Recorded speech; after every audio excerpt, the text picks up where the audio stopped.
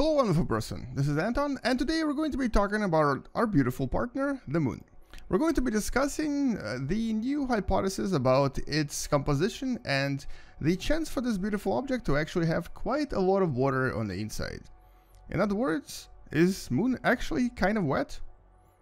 Welcome to What Da Math.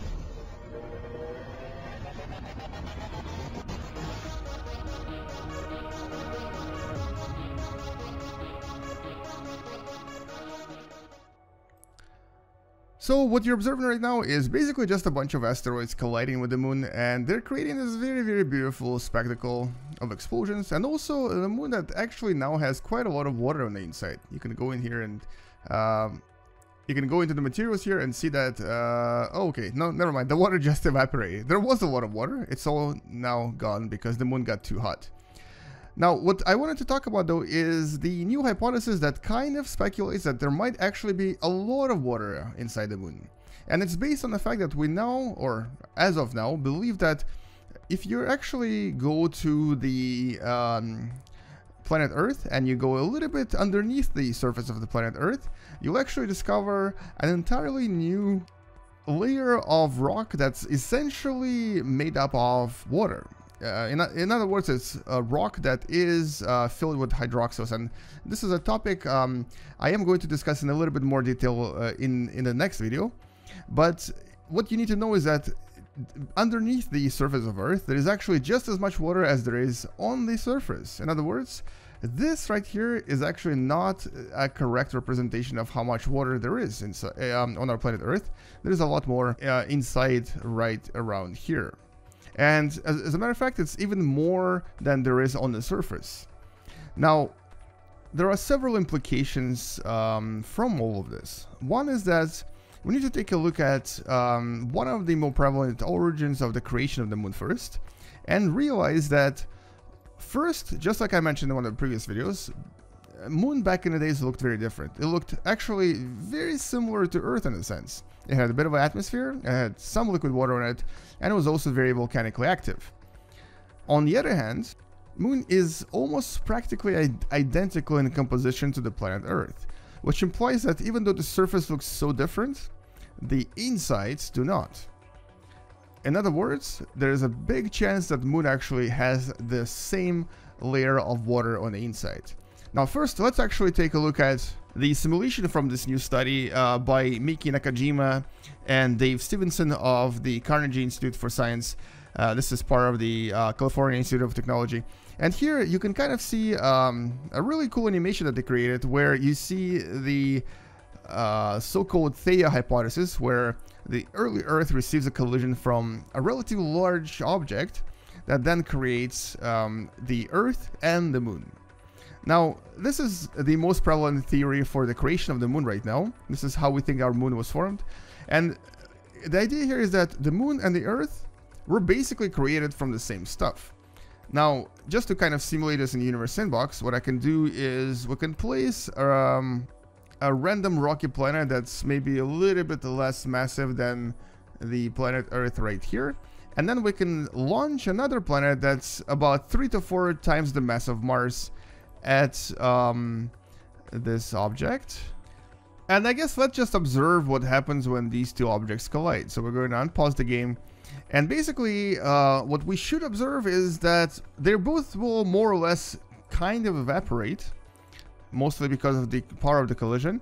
And from this evaporated material, we'll have, um, well, hopefully several objects. We'll see if there's going to be more than one.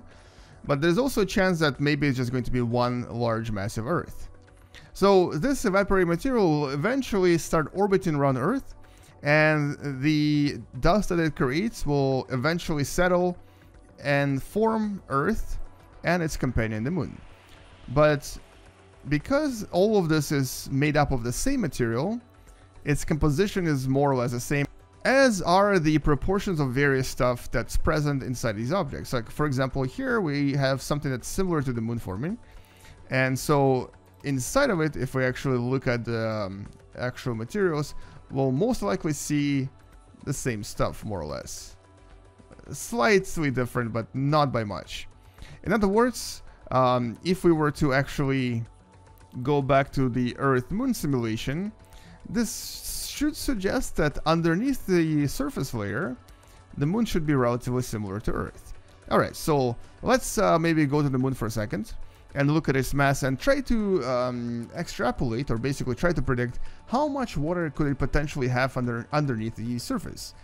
Well, we think that Earth underneath the surface has about 1.5% or maybe even 2% by mass.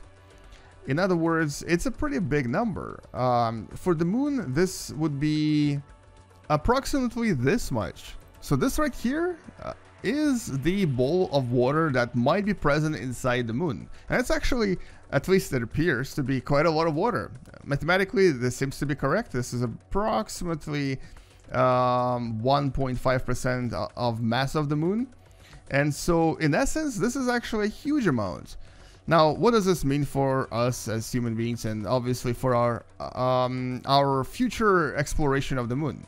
Well, this implies that we could potentially not just harvest all of this water and create a colony that's self-sufficient using the uh, underground water um, underneath the lunar surface, but this also implies that let's actually do it this way. Let's add the water to the moon right now. We'll make it to about 1% maybe 2%. Um, and give the moon slightly better conditions at preserving the heat as well so that it can potentially um, have an actual liquid water here. And so maybe just maybe this will be actually enough. it, it is uh, warming up right now. But basically what this implies is that there might be a way for us to one day even terraform the moon. Okay, it might be a little bit far-fetched, but uh, you could potentially somehow bring this water to the surface and maybe even turn it into something a little bit more liquid looking. Let's see if we can try it here. Is it gonna work? No, it's, it's still not enough. Uh, I may have to actually decrease the albedo quite dramatically for it to work. And is this gonna work? Oh, look at that. I think this may actually have done it. We might have, yeah, there we go, liquid moon. Look at that. So this might have been the face of the moon a long time ago. Clearly not anymore.